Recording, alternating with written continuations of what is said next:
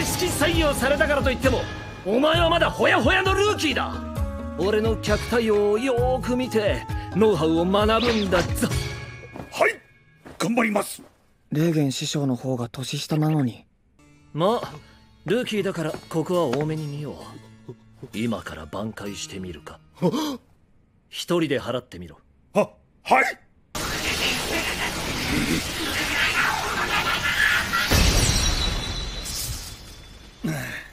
やりました。どうだモブ。芹沢さんの力強いですよ。よし！よくやったぞ芹沢。その調子で頑張ってくれ。な治った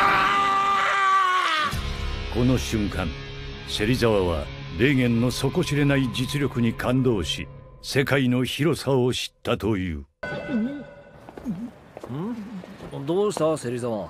気持ち悪いのか？ありがとうございました。